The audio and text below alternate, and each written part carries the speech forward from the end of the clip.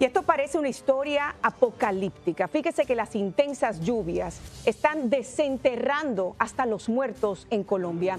Imágenes de Piojó, Departamento Atlántico, muestran el cementerio local completamente destruido.